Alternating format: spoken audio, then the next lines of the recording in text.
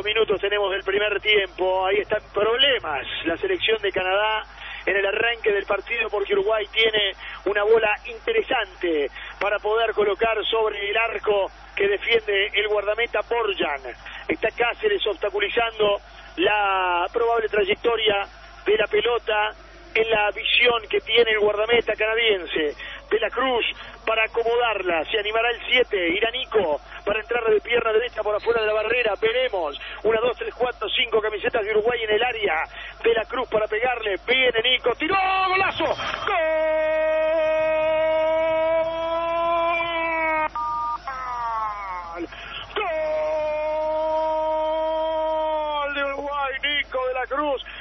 animó nomás para darle con un chanfle exquisito cara interna de pie derecho por afuera de la barrera voló el largo Borja no llegó el guardameta experiente que tiene Canadá la puso casi en el ángulo superior izquierdo y Uruguay a los cinco minutos en Bratislava pasa a ganar el partido qué bien que viene, que a balón parado, con lo que pesa en el fútbol de hoy, tengamos un especialista, lo hayamos encontrado a Nico de la Cruz, se haya animado para pegarle y para ponerla en el arco Uruguay 1, Canadá 0.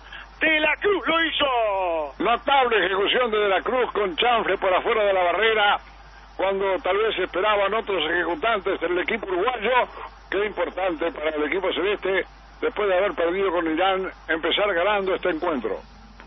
Notable remate ejecución para poner la pelota arriba sobre el parante izquierdo del guardameta para que Uruguay a los cinco minutos encuentre la ventaja. Qué importante tener un ejecutante balón parado de la Cruz, como en River, la manda a guardar. Es otro golazo de Superfútbol en Radio Cristal del Uruguay. Respira Cristal. Estás escuchando Superfútbol de Radio Cristal del Uruguay 1470M con un equipo de otro planeta y con el relato del mundialista Marcelo Sansón. Martín Cáceres va tocando para Valverde, Valverde para Martín Cáceres, este para Sebastián Cáceres, que juega por el sector izquierdo de la saga central. La bola de la Cruz, de la Cruz a Sebastián Cáceres, presionado ahora por el número 11 Larin, toca para Roger. Roger entregando por el medio para De la Cruz. De la Cruz saliendo con Suárez. Suárez la rebota para que venga de frente Bentancur. Se desprende por la derecha Varela. Va a venir para Varela. Tiene campo, ¿eh? Como para poder ir en el puesto del 8. Apertura Canovio. Corre contra la marcación de Miller. Tira fuera. Muy bien el 4.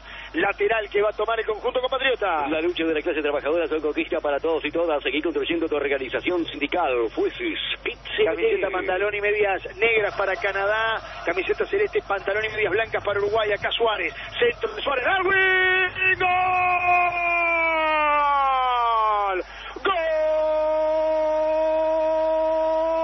¡Gol! Uruguayo Darwin Núñez. Pelota que vino para Suárez. Les vengo diciendo. Hoy jugando más de asistidor. Hoy con la cabecita levantada. Hoy poniendo la bola donde él quiere. Porque la verdad la está poniendo donde él quiere preciso, milimétrico,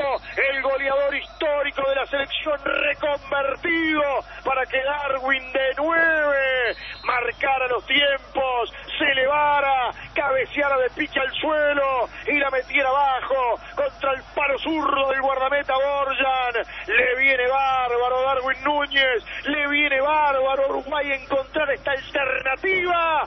33 minutos, Suárez que los hace, también ahora los da. 2 a 0. Notable el trabajo de Suárez elaborando juego un poco más retrasado, esta vez bien por derecha, la colocó hacia el medio y por fin puede rubricar Darwin Núñez. Ojalá que esto le dé la tranquilidad necesaria para desarrollar su juego al futbolista del Liverpool de Inglaterra que la cabeció bien hacia abajo sobre el parante izquierdo del arco canadiense para poner este 2 de 0 que tranquiliza. Señores, la tercera fue la vencida, tercer pase de ensueño de Suárez para Darwin Núñez. Este sí, la terminó de culminar un frentazo notable, se elevó magnífica, puso el 2 a 0, empieza a sentenciar el partido Uruguay. Es otro golazo de Superfútbol en Radio Cristal del Uruguay. Respira Cristal.